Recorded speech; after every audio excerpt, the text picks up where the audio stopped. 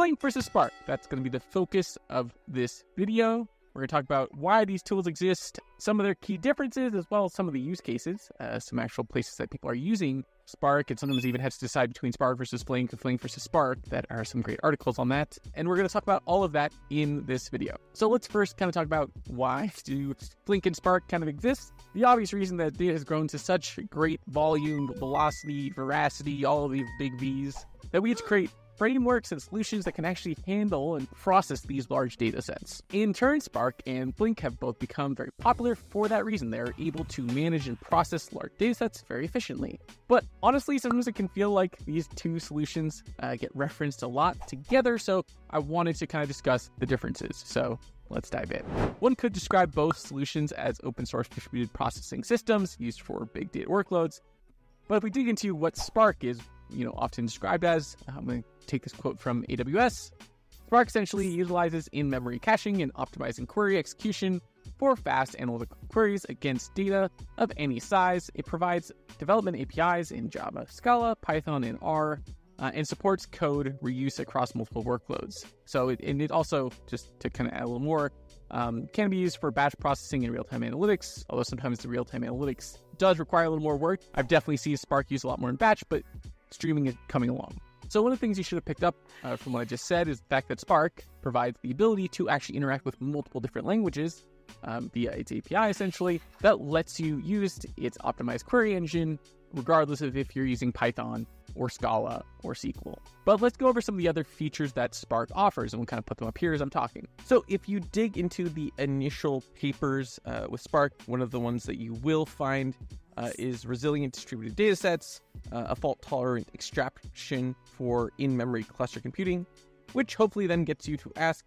what is a RDD, which is what it's awfully referenced as, especially if you are accustomed to using Spark, and likely you often find yourself trying to put things to data frame, you use the to data frame function.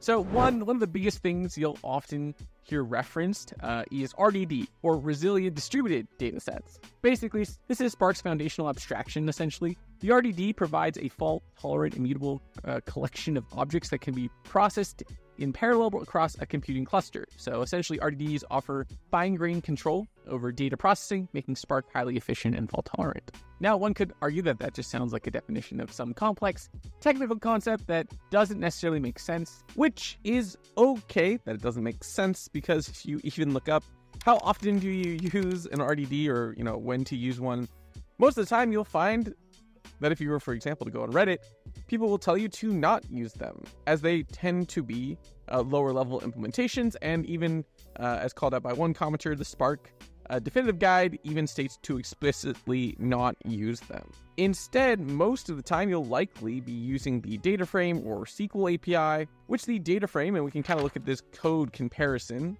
is more explicit and lets you essentially create a table which most people will understand more clearly as you know you can clearly have columns making it far easier to work with a data frame versus an RDD. It's not to say you'll never use an RDD, but more frequently than not, you likely won't. At least that is in my experience. So let's put this into an actual usage. Uh, so let's stick on top of that the data frame API, which is basically building on top of the concept of RDDs. Uh, Spark essentially has these Spark data frames that offer your ability to interact with your data and manipulate it, you know, using things like pandas, and in turn allows you to run complex data transformations on top, or simple ones. They don't always have to be complex. Why do we got to make things complex? There are honestly several other features that Spark offers. This framework that gives you access to a uh, optimized query engine that lets you run in-memory queries on top of uh, essentially their RDDs. So let's now dive into Flink before we go into the different use cases that I've seen people use uh, Spark and Flink for. Now, when we look at Flink, I think the thing that really distinguishes it against Spark is that it's really geared towards doing transformations and complex transformations um, on streaming. It can handle robust data stream processing, meaning it can actually do things as your data is being streamed, and it's built for that. Uh, if we go to flink.com, you'll see that basically, uh, if you were to look up what uh, Apache Flink is, it defines it as a framework and distributed processing engine for stateful computations over unbound and, and or bounded data streams. So again, the centers around streams. Uh, Flink has been designed to run in all common cluster environments, perform computations at in memory speed at any scale. And so I think that's generally the big difference that you'll see. Um, Spark at least in my mind, initially was more developed for batch processing, at least, and that's how we use it at Facebook. We would literally be able to pick between like Presto, Trino, and for some reason Hive in terms of like when we ran our batch processing jobs. And whenever you see Flink, it generally is more connected with stream processing. Quick pause, everyone. Today's video is sponsored by Delta Stream, which is powered by Apache Flink. DeltaStream is changing the landscape of stream processing. You can eliminate the complexities of the setup and configuration uh, as DeltaStream removes uh, the need for specialized Flink expertise. You can go beyond Flink and even build materialized views and streaming applications, all with Simple SQL. By centralizing all your data stores, streaming, and batch, DeltaStream provides you a unified view of your streaming data, allowing you to gain comprehensive insights. It also simplifies data governance through role based access control, allowing administrators to manage uh, data access seamlessly across the enterprise. Whether you choose cloud based or private deployments, DeltaStream adapts to your organization's needs. And a serverless infrastructure means there's no clusters to maintain. Drive real time insights with DeltaStream, the unified platform that empowers your team to build, collaborate, and innovate like never before. If you're interested in learning more about DeltaStream, then you can click the link below for a free trial. And with that, now let's get back to the video. So generally, the features you see in Apache Flink are uh, their data stream and dataset APIs. So the data stream API is essentially designed for that unbounded and bounded data streams so Flinks basically let you perform state or stateless kind of real-time data processing, catering to these complex kind of event-driven applications. So when data is actually fired off, you can actually process this data versus like waiting for it to be in batch. Is what generally when you hear event-driven architecture, that's what that means. In fact, funny story, I had someone recently who wanted to build uh, Airflow for some reason into an event driven architecture where every event would basically build a DAG, which is not what you should do if you're out there uh, ever wondering. Airflow is not built to handle um, event driven architecture, at least not at that scale. Maybe if you're doing 10 events uh, an hour, but at thousands of events per second, it's just not meant for it. Uh, it also provides, and I think this is very helpful, exactly once processing semantics, which kind of like it sounds like, basically means that for every event that occurs, you know, each record will be processed exactly once uh, even if the event fails, basically ensuring data accuracy and consistency. But it has that ability to provide this consistency, um, which is really important. Now, we've gone over the high level. Uh, what I wanted to do now is dig into a few examples or a few use cases where companies have literally either picked Flink, picked Spark, why they would, would have picked one versus the other. Um, there, there were a few cases in, in here where they were actually picking between the two. So this is going to be really focused on design and, and why they ended up switching from one solution to another. So we'll dive into that here now. All right, so one use case that I thought was interesting, or at least one where they were exploring kind of using Flink and, and why, uh, was with Capital One. So if we scroll down, um, I've at least done some pre-reading. It'd be fun. Uh, let me know if anyone ever wants me to do like live responses to some of these articles. Um, but essentially, they kind of dealt with the problem that you will eventually deal with. And one of the reasons I will say, hey, now it's time to go to, to streaming, which they kind of call out here, which is, you know, eventually your, for example, whatever batch system they're using, Spark here, eventually it just becomes, uh, their words, less efficient, where things start to lag behind right? Uh, you are running a job every hour and it takes an hour and a half. So you can never be caught up, right? Because it's, it's taking longer to process that data because you're processing it every hour rather than, you know, ever really catching up, right? Like you're, you're doing it every hour, it's an hour and a half. So you know you're, you're always going to be behind and then if you, those jobs are literally running in order and have to run in order you're going to constantly you're just going to fall impossibly behind eventually so one of the reasons people look to stream data is sometimes not because they need it from an operational standpoint, but because they actually need to improve um, the actual performance. So we had this actual same issue happen at Facebook where we eventually are like, okay, we just need to do real time, not because we have any use case for it, but this data is just getting so big, right? Um, and that was the only time I think we ever like uh, on my team considered real time. So, and as they kind of call it out, one of the patch solutions could just be to like constantly build a larger solution or try to optimize queries and like little things but you eventually hit a point where it's like, all right, maybe we just move to streaming. So essentially, to address this, they went into Flink. So they were looking at essentially using a combination of uh, Flink and AWS uh, Kinesis Data Analytics. So those two solutions together. I mean, that's really what this article is about. They really just explore that. So first, they talk about why. So what they they think Flink will bring. Um, works in real time, as we discussed. That's really what it's built for. Obviously, again, Spark has Spark streaming, but it tends to feel more of a tag along. Like it tends to feel like something that people added in later, whereas Flink was built with streaming in mind. And then uh, Kinesis Data Analytics kind of offers a managed version of Flink, so you can actually turn it on or use it. And I think things I think I've just recently used it for what I was testing out a video. But um, if we kind of go down here, essentially what you can kind of see that they're trying to do here is they've got a Kafka uh, topic that they'll eventually try to be pulling from, and they'll have Flink that will just be essentially directly syncing it to um, their uh, Amazon Aurora database. You can imagine that being any data warehouse or database, Redshift, Snowflake, etc. And Flink and our AKD is essentially sitting here in the middle. So if we kind of keep scrolling, again, they, they cover some of the other basics that you'll you could kind of dig more into Flink. Um, but below that, they go, they go through the process of you one creating this stream. So you can create the stream on KDA, and then from there, actually using code to do a basic. They say transformation. I don't know if I'd call it a transformation. It's really just kind of a data sync. Um, so first, they obviously initialize the the code, and, and they basically are just giving you an example here and we'll kind of wrap it up at the end. But if you ever want to play around, you you could literally use this code. It's not super complex. They're not doing anything that um, you couldn't do um, in, in this example. They more outlined at the beginning why they switched, and then they're giving you an example of how it can be used uh, to process data in real time. then they kind of wrap it up towards the end. So you'll see they kind of initialize uh, the Flink environment, and then afterwards, you'll see that uh, essentially they use Flink and a Flink essentially DDL statement here. You can kind of see they even call it out here. They make it so easy, like anyone could read this. And essentially, they are taking this message, right? They're creating a table, they're getting a message from it that is connected directly to the Kafka topic, right? Like whatever your topic is, the connector is, uh, is Kafka. You can see here topic is etc. Um, you know, uh, set up the rest of the config, and then from there you execute that SQL statement. So now you've got this this table that is connected to your Kafka topic. And what you'll kind of see as they kind of go along is they're really going to give you just a basic data sync here. So their next essentially um, DDL statement will be into um, Aurora. So now they're saying, hey, let's connect to the actual database that we want to connect to. Um, and now we're going to create a table there where we're going to sync this information to. And you'll notice that that T environment is both here and here, and that is that Flink environment that was set up earlier. So if we go back here, uh, T environment. Although I wonder if this worked because I'm, I did not see this before. T is uppercase here, uh, and T is lowercase here. So I'm sure it was just a, a mistake, but funny point. Actually, I bet I know what happened just because I've had this happen before, even though it didn't happen here.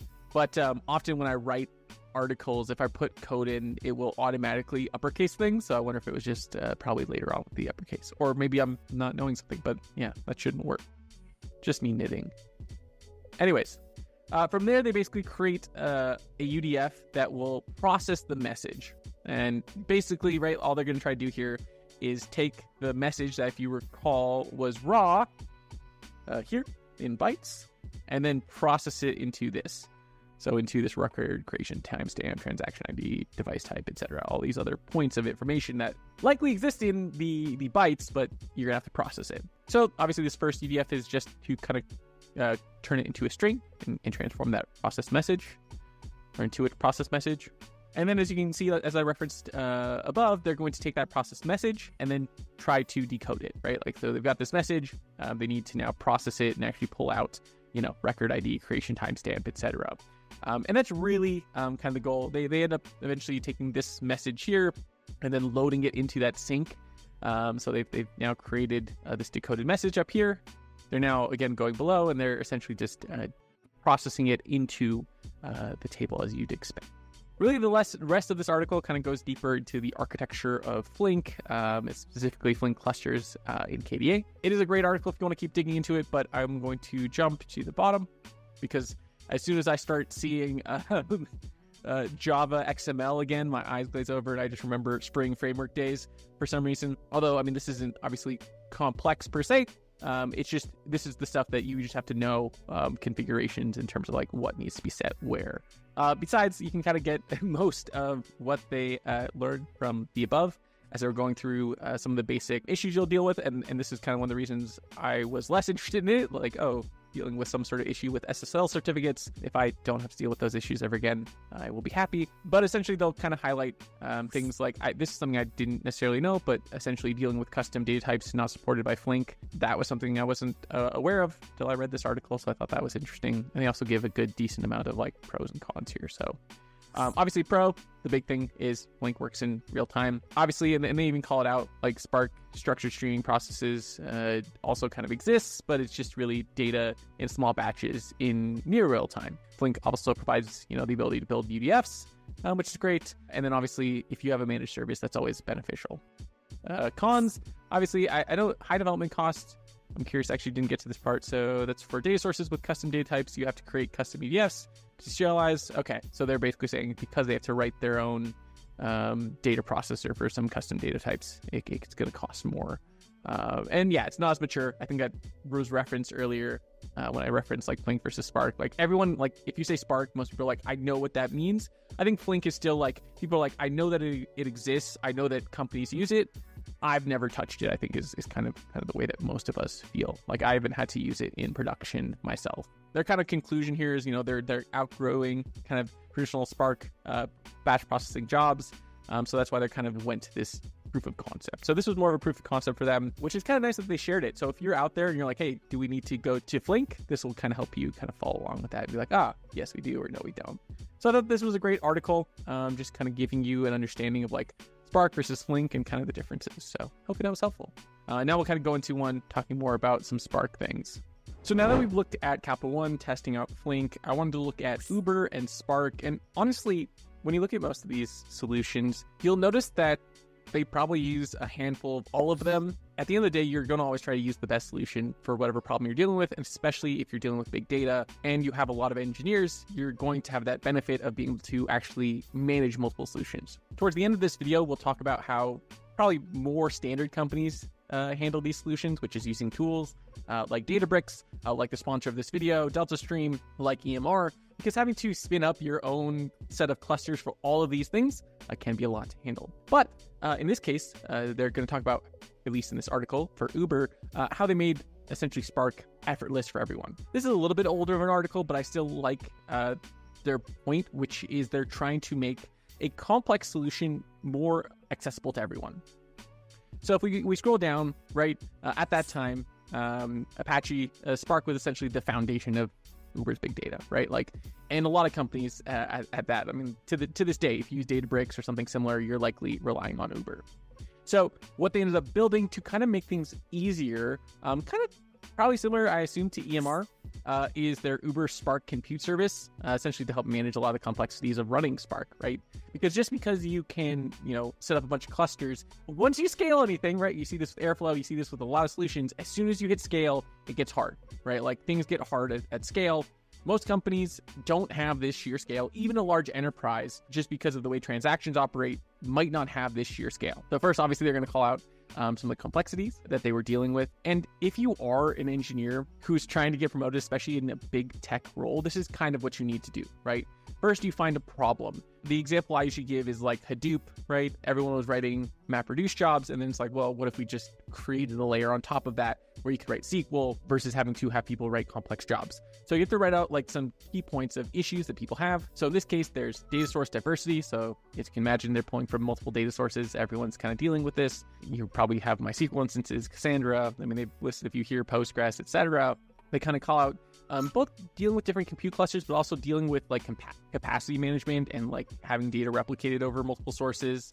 Multiple Spark versions, right? Like if, if you haven't had to deal with multiple Spark versions, I mean, that's because now we're, I think we're pretty solidly uh, migrated over from two to three, but now even three has plenty of, of, new versions. Um, and of course, dependency issues. Uh, this one, this last one actually, I, I, think really sticks out because at Facebook, when we had Data Swarm, which was essentially our Airflow, right?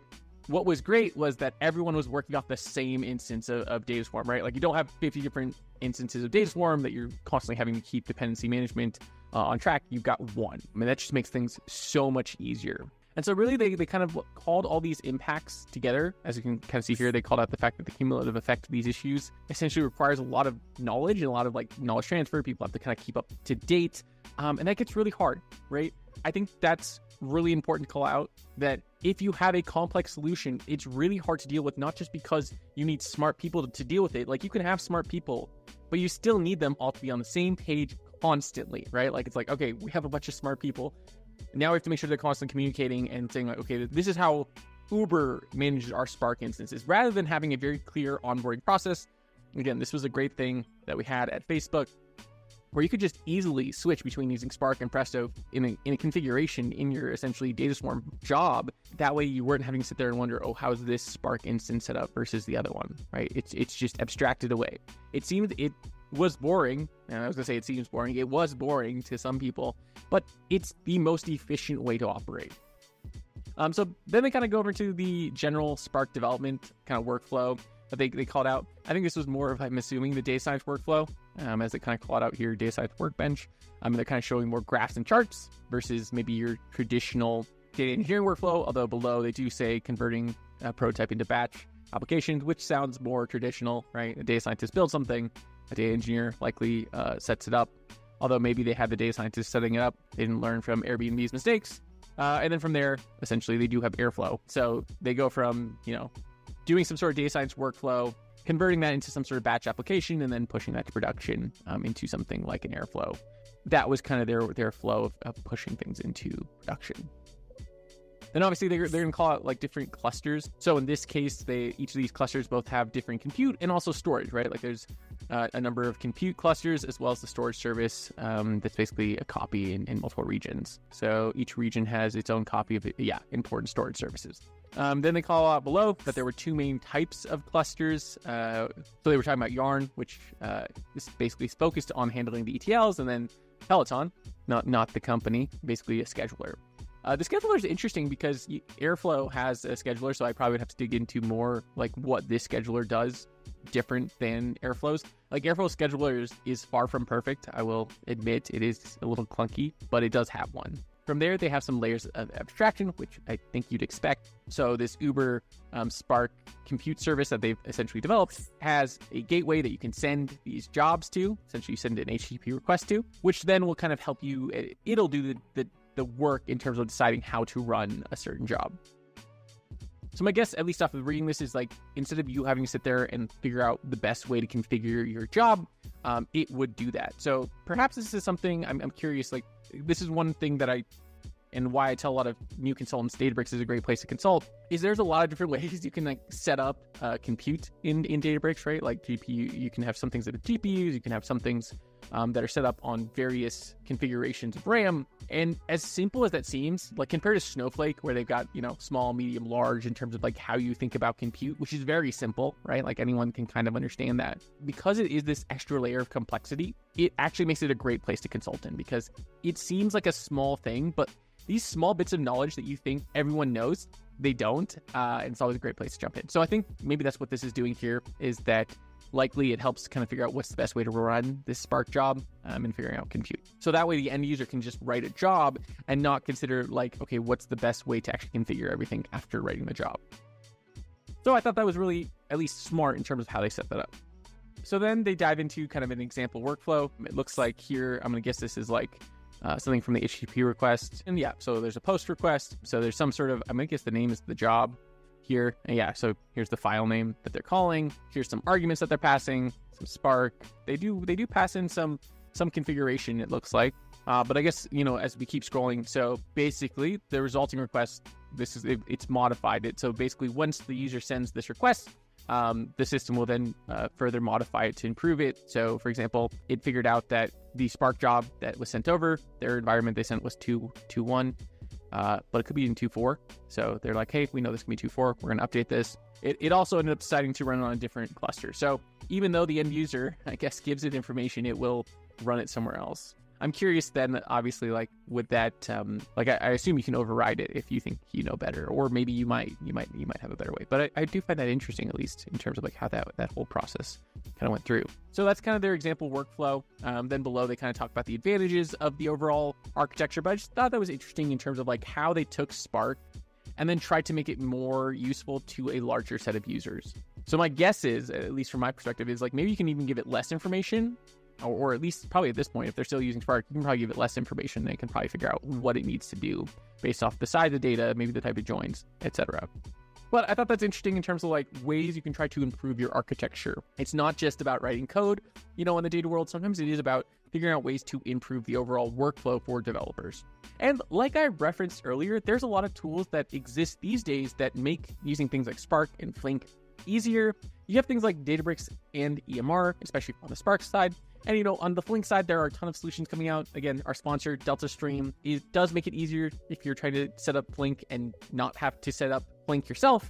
Uh, and they make real-time stream processing easier, so that's great. Because many of these large tech companies have built solutions for how to handle uh, these more complex big data processing frameworks, whether it's Airflow, again, whether it's Hadoop and, and, and putting layers on top of that all of that has essentially come from a lot of big tech that has then eventually been uh, passed on one way or the other to uh, companies of all sizes, and especially uh, with SaaS models. So if you're looking for an option, you should try out one of those solutions just to make your life easier. Because trust me, I spent a ton of time trying to set up Hadoop on my own laptop forever ago, and it just was a bad time.